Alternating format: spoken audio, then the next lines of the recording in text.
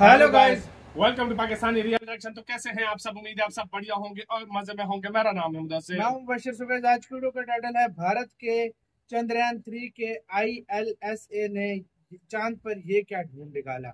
मतलब कुछ ऐसा कोई कमाल की चीज़ ढूंढ निकाली है भारत के आईएलएसए जो कि चंद्रयान थ्री का शायद पेलोड है। जो मतलब हाँ उधर जो ढूंढना मतलब खोज करते हैं। उन्होंने कुछ ऐसा ढूंढा कि दुनिया हैरान होगी। क्या हुआ?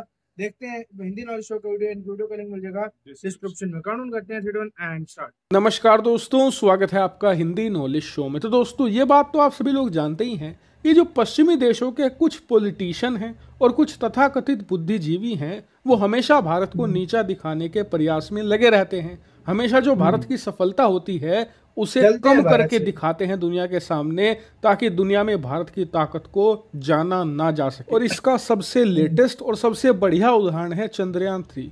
आपको याद ही होगा कि जब हमने इसे लॉन्च भी नहीं किया था तब पश्चिमी देश के कुछ लोग सोशल मीडिया पर आकर ये कह रहे थे कि इसका हश्र भी चंद्रयान टू जैसा होगा यानी कि ये सफल नहीं हो पाएगा। लेकिन जब हमने इसे लॉन्च कर दिया और ये सफलता पूर्वक चाँद की ज़मीन पर लैंड भी कर गया तब क्या कहा गया कि इन्होंने जो चंद्रयान थ्री बनाया है ये तो हमारे पैसे का दुरुपयोग करके बनाया है। हमने इन्हें गरीबी हटाने के लिए दो ढाई बिलियन दिए थे। इन्होंने इसके इस्तेमाल से स्पेस प्रोग्राम बना लिया और आज ये हमें ही अकड़ दिखा रहे हैं। लेकिन जब ये बात साबित हो गई दुनिया के सामने कि पश्चिमी देशों ने खास करके ब्रिटेन ने भारत को कोई मदद नहीं दी एक चवन्नी भी नहीं दी तब इनका मुँह रुआसा हो गया कि अब क्या कहें? तो मुझे बहुत अच्छे से याद है इन्होंने एक नया जुमला निकाला है। जुमला ये है कि जो भारत ने चंद्रयान थ्री लॉन्च किया है और चाँद पर लैंड करवाया है ये सिर्फ़ गर्व के लिए किया है। यानी कि इनके नेशनलिज्म के लिए इन्होंने किया है सिर्फ़ दुनिया को अपनी पावर शोकेस मतलब करने के लिए किया है हाँ। बाकी साइंस से इसका कोई लेना देना नहीं है। लेकिन इनके इस जुमले को भी तीन दिनों के अंदर कुचल दिया है भारत के छह पहिया प्रज्ञान रोवर ने। कैसे?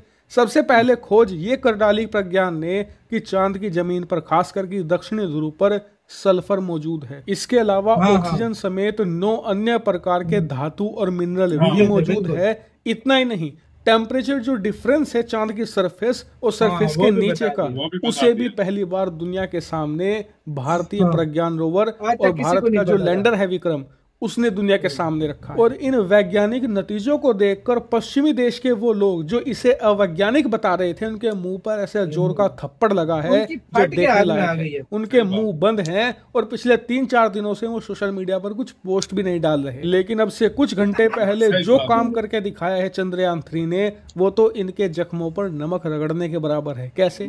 दरअसल हुआ ये है कि भारत का जो विक्रम लैंडर है उसने हाल ही में अपने आईएलएसए के ज़रिए ये पता लगाया है कि यहाँ पर कुछ सिस्मिक एक्टिविटी हो रही है यानी कि एक तरीके हाँ। का भूकंप। और इसका पता लगाने का तरीका भी बहुत अलग था। दरअसल जब हमारा प्रज्ञान रोवर लैंडर से अलग होकर चक्कर लगा रहा था नई नई स्टडी कर रहा था खोज कर रहा था उसी दौरान जो हमारा लैंडर है जो सबसे पहले लैंड हुआ चाँद पर उस पर एक पेलोड हाँ, हाँ, लगा है जिसका नाम है आई एल एस ए यानी कि instrument for the lunar seismic activity यानी कि किसी प्रकार का वाइब्रेशन किसी प्रकार का हिलना डुलना आसपास के ऑब्जेक्ट का तो शुरुआत में तो लगा वैज्ञानिकों को कि शायद ये इसलिए डिटेक्ट हुआ है क्योंकि हमारे लैंडर के पास ही हमारा छह पहिया रोवर चक्कर लगा रहा है वो अन्य प्रकार की खोज कर रहा है शायद उससे उत्पन्न हुई हो। और इसीलिए वैज्ञानिकों ने रोबर को थोड़े समय के लिए रोक दिया। लेकिन आयलसा में ये देखा गया कि रोकने के बाद भी जो सिस्मिक एक्टिविटी थी वो जारी थी। मतलब ये सब कुछ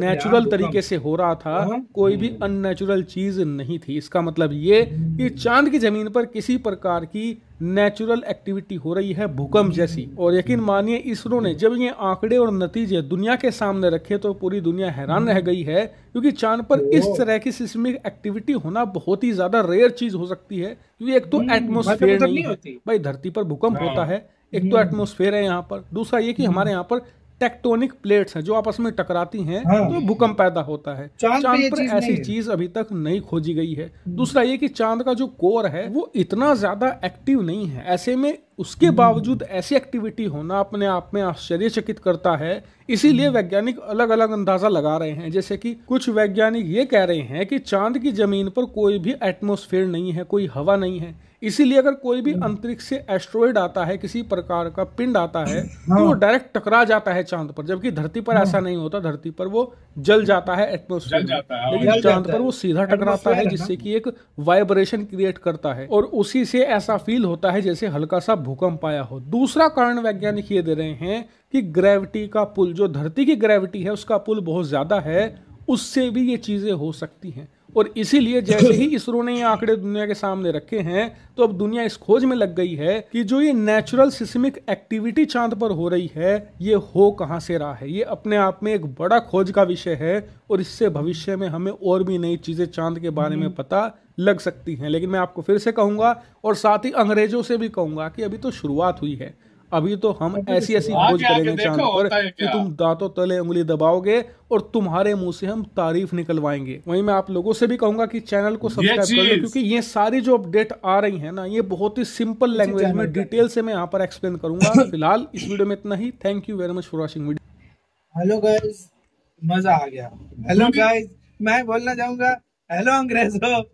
मज़ा आया। सोचिए नहीं नहीं ये तो अभी झटके पे झटका ये कुछ दिन और देगा इसरो मतलब और काफ़ी सारी ऐसी चीज़ें हैं जो हाँ। इसरो अपने पास रखता है वो हाँ। फुल देखो मतलब कोई भूकंप हुआ है कोई हाँ। क्या कह रहा है कोई क्या कह रहा है उधर एटमोस्फेयर नहीं है ये चीज़ नहीं होनी चाहिए। मतलब उसने महसूस किया है कोई ज़मीन को हुए ज़मीन मतलब चाँद की जो मतलब सरफेस रोवर है को भी रोका है पहले। रोकर रोवर को रोक दिया गया उधर ही ताकि मतलब उसको नुकसान ना पहुँचे।